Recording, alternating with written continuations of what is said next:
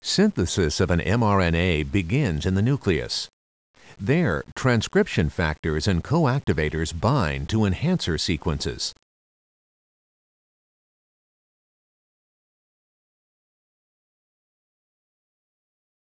These factors are joined by general transcription factors, SRBs, and RNA polymerase II at the promoter to assemble a transcription initiation complex.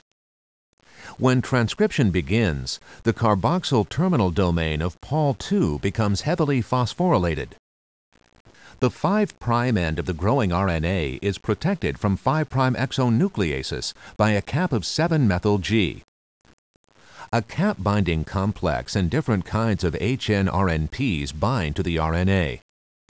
The spliceosome, made up of snRNAs and proteins, removes introns from the RNA.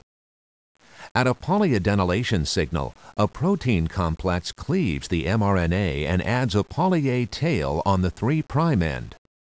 A poly-A binding protein and a cap binding complex protect the mRNA and aid the RNA's export into the cytoplasm. There, an initiation factor binds the cap, while other proteins bind the mRNA and poly-A tail.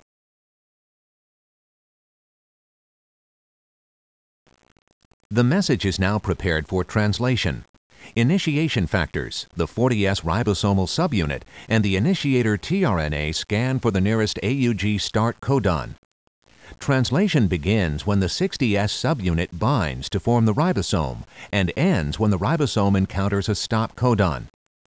As translation continues, the poly-A tail shortens. Below a critical length, the mRNA loses its 5' cap and is degraded.